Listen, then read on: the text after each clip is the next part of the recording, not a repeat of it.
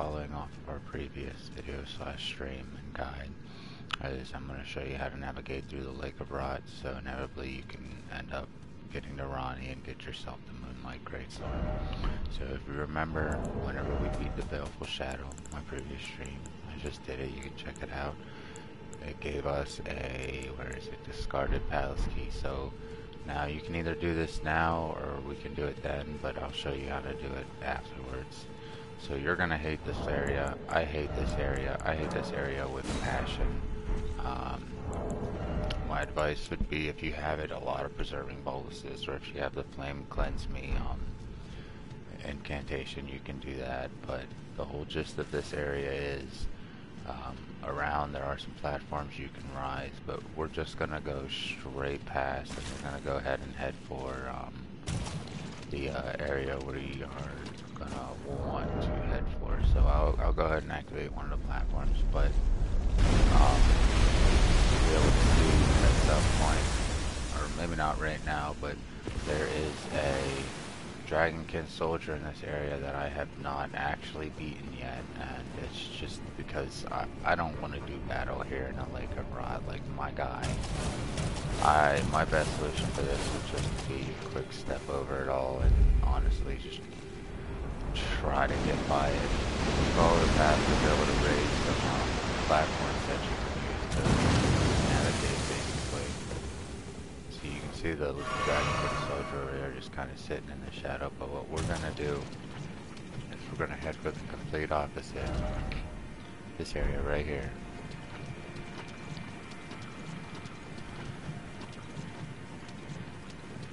Make sure you keep yourself filled up. That's an extremely important thing to do. Um, if you're quick enough, you should be able to just rush through it all and keep up build. If that's what you're planning on doing. Gotta watch my health. I am gonna grab this one though, simply because um, at some point I will come back here and do the Lake. Oh,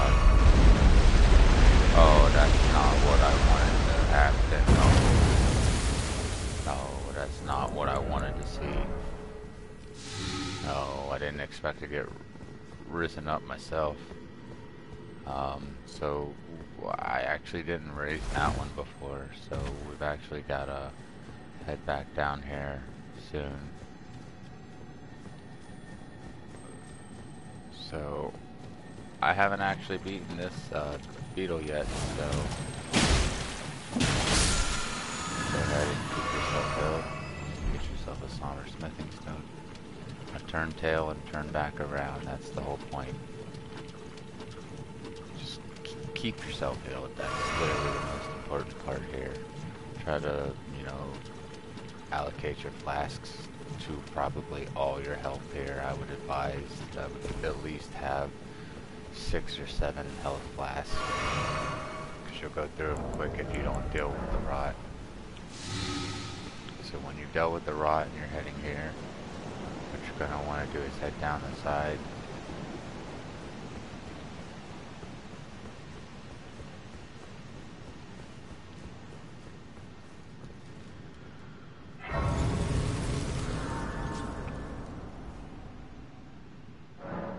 After activating your grace, so we're gonna do this now so you know where to go.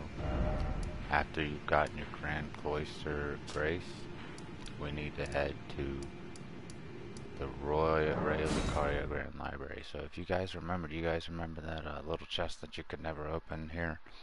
Well, that's what the discarded palace key will be used for, basically. We'll need what's in the chest to actually get to um, the area after the secret boss in there. So we're gonna go ahead and open this. Take that dark moon ring now. That's gonna be very, very, very important. After we've done that, it's automatically back to the Grand Cloister. It's crazy that the Lake of Rot is below the Raya Lucaria Academy, huh? Thought that was a little weird. Once you have your ring, teleport back to the cloister.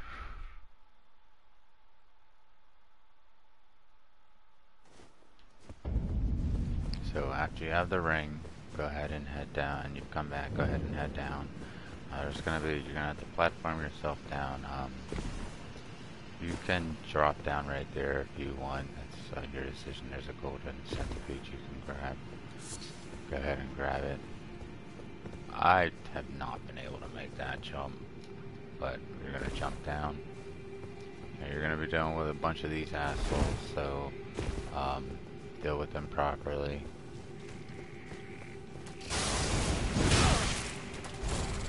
I I can't deal with these guys because they're so annoying. Like they just skitter all over the place. If you head straight up there, we're just gonna dodge it. Um, go back there, you'll find an ulcer dragon. He'll drop a golden seed. If you head up there, you'll find a scarlet rot dagger. The longer, you know, quick, straight, simple. Once you head down and head west, take a take a go to a south, come to this coffin. Go ahead and rest inside this coffin.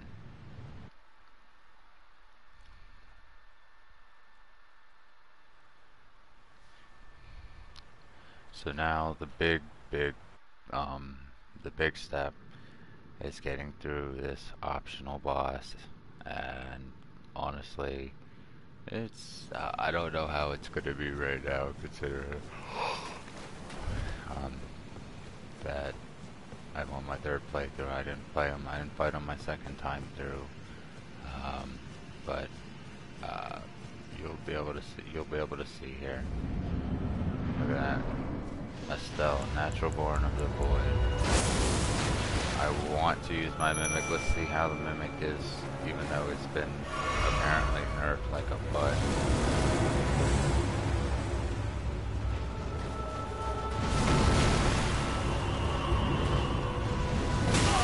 I didn't expect it to actually hit me.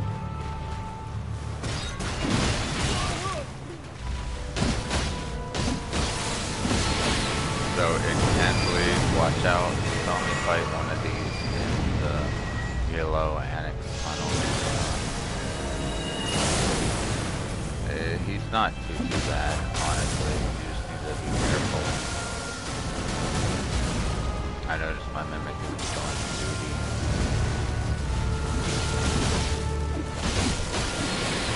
So watch out. That'll do damage to you if you let it hit you. This one is a lot easier if I'm being 100% with you than the one.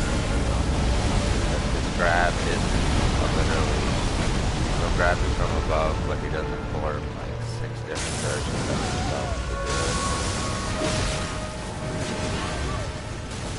You dealt with him.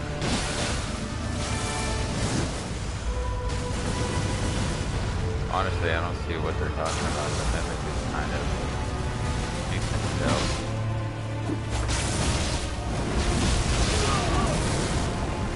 So has basically the same stats.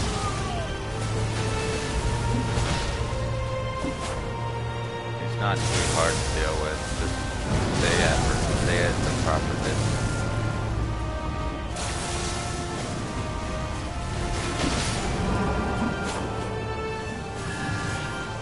After you've dealt with Astel, natural born of the void, now this is where that ring is going to come in um, handy. Basically, you're not going to be able to advance any further until you grab that ring. You'll actually be able to see the other side open and you can actually go to it. Now that ring is very important for your quest line too. If you're, you know, saying you want to go through with Ranni's and you followed her steps up till now. If you're quite unsure, um, touch, touch the grace.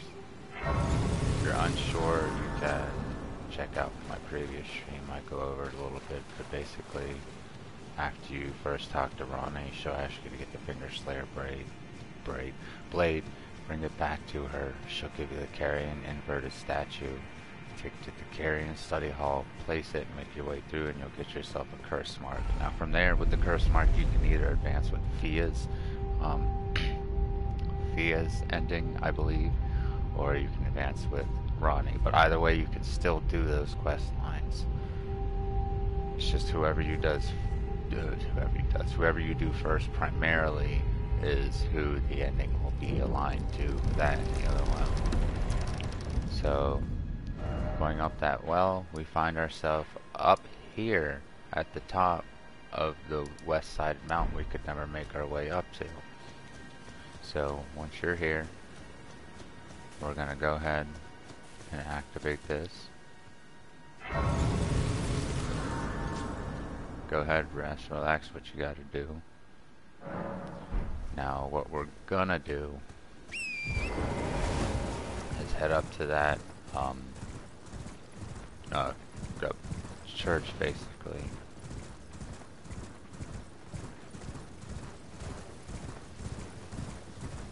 So if you've beaten the dragon or you've like beaten up the dragon, oh nope, he's just gonna be here.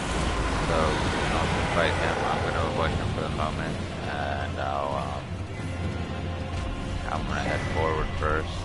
Get a bunch of starlight shards here if you want. You know, because starlight shards are cool. I'm gonna grab them. He is nice to have. Go ahead, activate this grace. Now we're getting at the very end of the quest line for Ranni as well. Um, so what we're gonna do the hole over here in the church. We're gonna make our way down. I need a torch or else I feel like I'm gonna fall to my death. Maybe not. Once you drop down, make your way through the tunnel. Yeah, when you come to the end you'll see a bit of a disturbing sight. But, you know, nonetheless, I wouldn't expect anything less. You'll see that she has basically done some awful stuff. So after you interact with her, and you wait a minute, talk to her. So perhaps I am. I go now. I bid thee, and once so. So after she leaves, just wait in the area for a second. Now you got yourself the Dark Moon Greatsword, or as you know it, the Moonlight Greatsword. So I'm actually gonna head down just a little bit because I don't know what I don't know what is up here. One of these has to be. What is up? Oh, not much, man. What about you? Let me go ahead and bring these comments up so I can actually see them.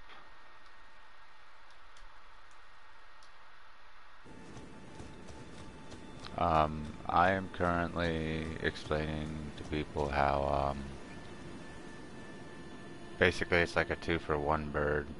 Um, so whenever, in order to get into the Eternal of Nokstella, one has to be able to obtain the curse mark by whatever reason. So basically you need to interact with Ranni initially when you first meet her, serve her, get her the Finger Slayer blade, bring it back, she'll give you the inverted Carian statue.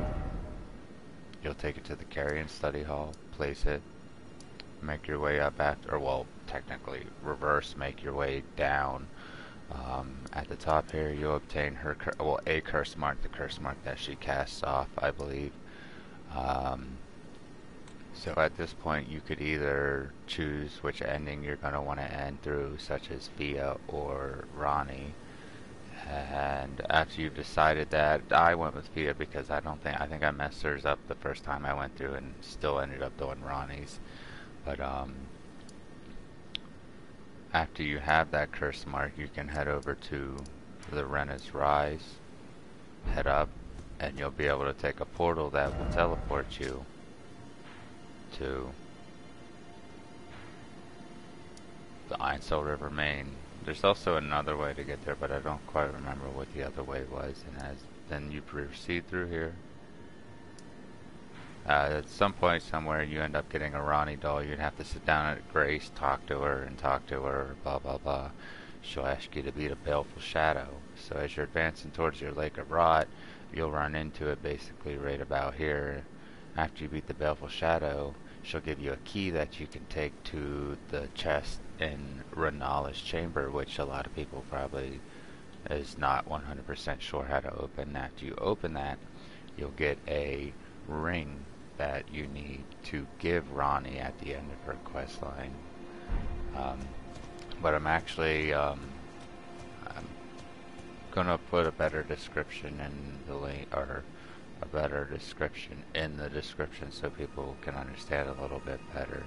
But I'm also gonna be calling it probably here for this one simply because um, I think I've gotten the point across of what needed to be done. But I am going to come back with basically um, what Glintstone Dragon Adula gives you, and I missed one Evergaol in this area before that I need to go through and record so people can see as well.